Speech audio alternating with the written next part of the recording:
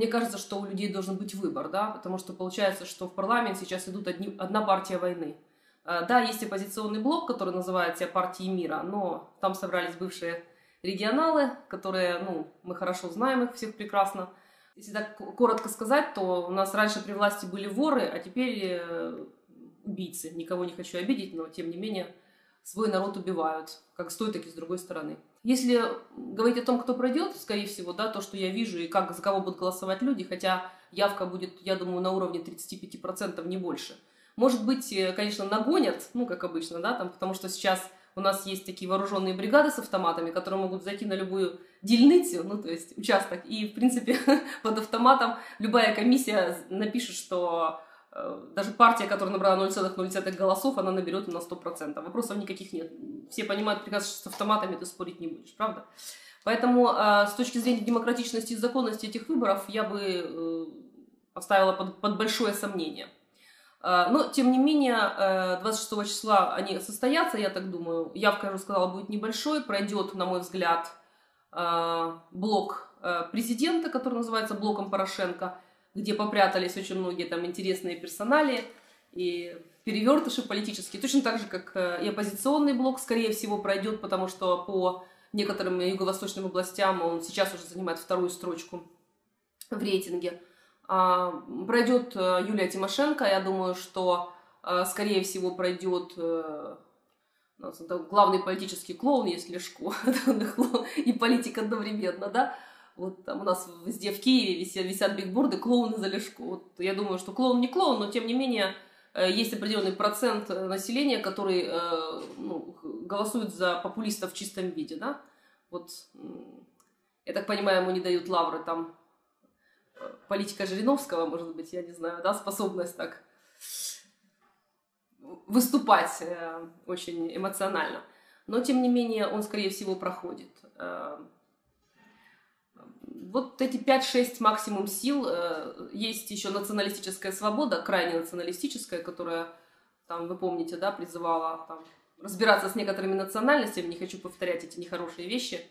А, она находится, сейчас ей дают 3,5-5%, э, то есть я думаю, что на Западной Украине, где а, они владеют тремя областями украинскими, это Тернопольской, Ивано-Франковской, Львовской, скорее всего, они обеспечат себе проход за счет этих областей. В общем, вот эти вот 5-6 сил, сил проходят в парламент. Может быть, будет какой-то, а, ну, знаете, как там рояль в кустах. У нас была когда-то партия зеленых, которая там имела на старте процент и попала в Верховную Раду, ну, потому что смогла переломить за две последние недели перед выборами а, мнение избирателей а, своей вот ну, такой экологической зеленой риторикой.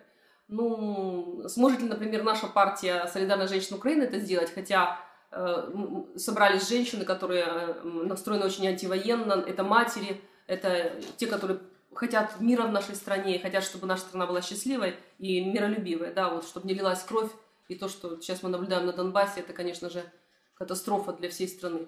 Э, сможем ли мы пройти, я не знаю, как бы это решит последняя неделя и возможности финансирования определенные, насколько я понимаю. Как реагирует народ на все процессы, которые сейчас происходят, ну, э, знаете, наступает уже такая тихая обструкция всему, э, потому что, э, честно говоря, экономика не просто упала, а ее фактически сейчас нет. И кто бы что ни говорил, их какие бы там по телевизору не показывали великие достижения, экономика определялась очень во многом Донбассом в том числе. И сейчас этот регион на 60% зруйнован, разрушен. Соответственно, это ударило абсолютно по всем сферам – мы имеем возможность судить по Запорожью, где закрылось, наверное, почти 50% предприятий, а другие выживают вот какими-то непонятными, как Запорожье, стали серыми схемами.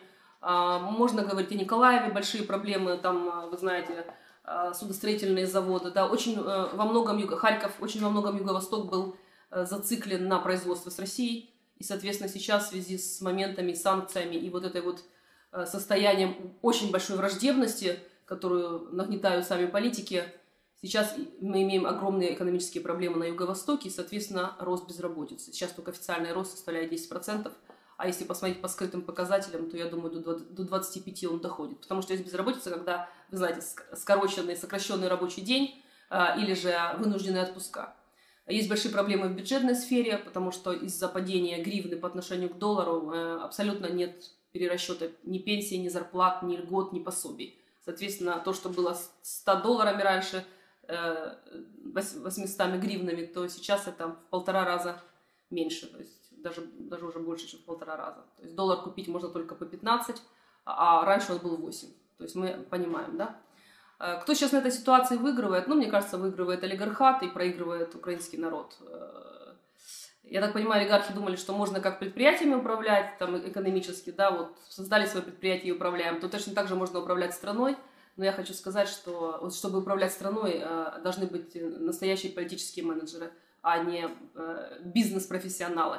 Потому что Украина это страна, а не экономический проект. Это разные вещи. Это мой взгляд, мой взгляд на ситуацию. Я бы перемирием это не называла, я бы называла это так э, э снижением уровня войны. Э, просто, просто это снижение уровня войны дало, дало возможность э, хоть каким-то образом людям вернуться в города, хоть каким-то образом сделать безопасные, относительно безопасные зоны и начать экономически выживать. Потому что идет зима, а инфраструктура Донбасса почти на 60% разрушена.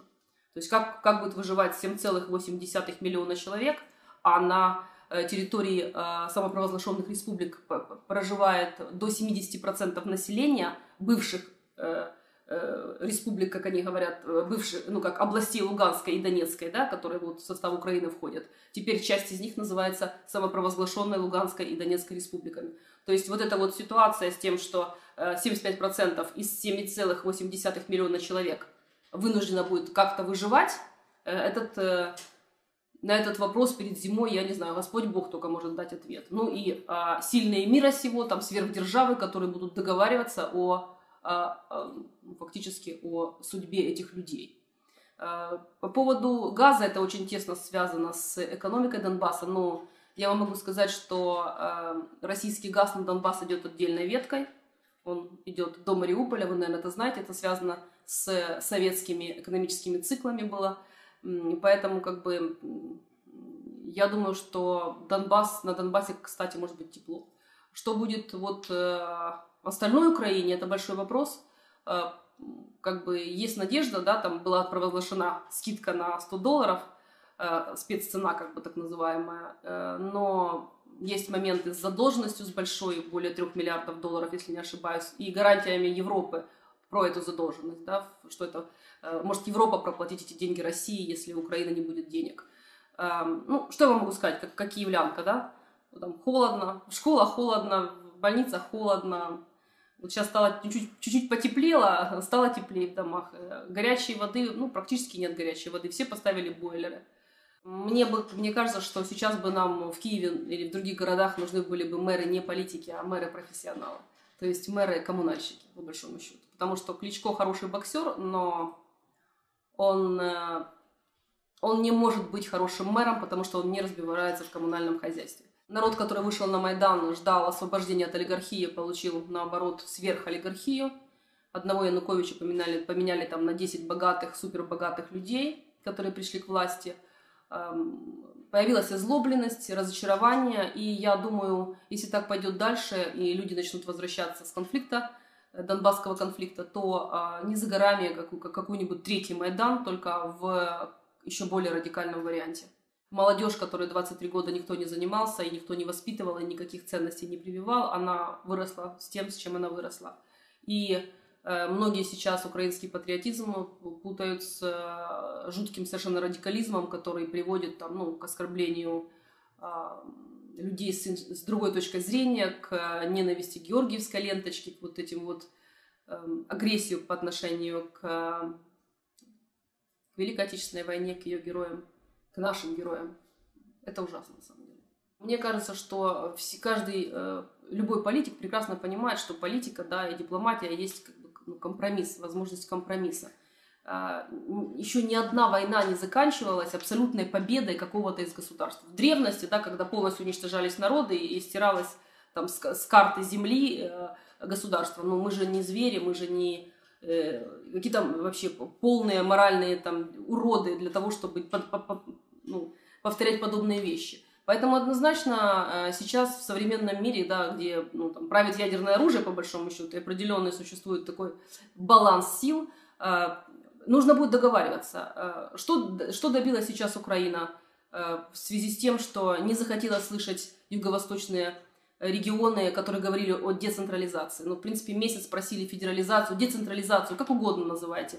Э, был такой великий э, украинский политик, царство небесное, Вячеслав Черновол, он был украинским националистом, погиб, если вы помните, там еще проблема была вот с участием Кучмы в этом процессе. Так вот, он, например, говорил в начале 90-х о том, что Украина э, должна быть децентрализованной, а может быть и федеральной страной по земельному принципу Германии, например. И тогда разные ментальности, разная ментальность разных регионов Украины будет сбалансирована и не будет конфликтов. Но его тогда никто не услышал. Э, к сожалению, сейчас не услышали Юго-Востоке. Мы имеем то, что мы имеем. Э, и теперь разобраться в этом конфликте крайне сложно. И чем дальше, тем больше это, э, ну, это настоящая петля на шее получается да, у всех. Закрыть глаза на требования там, почти 8 миллионов населения это невозможно. Закрыть глаза на те процессы, которые происходят, невозможно. То есть стол переговоров напрашивается сам собой. А хватит ли у политиков а, политического такта и просто, просто человечности и вообще ума для того, чтобы это понять и дальше не вергать народ в эту военную пучину, у меня большой вопрос. Но у нас другого выхода нет.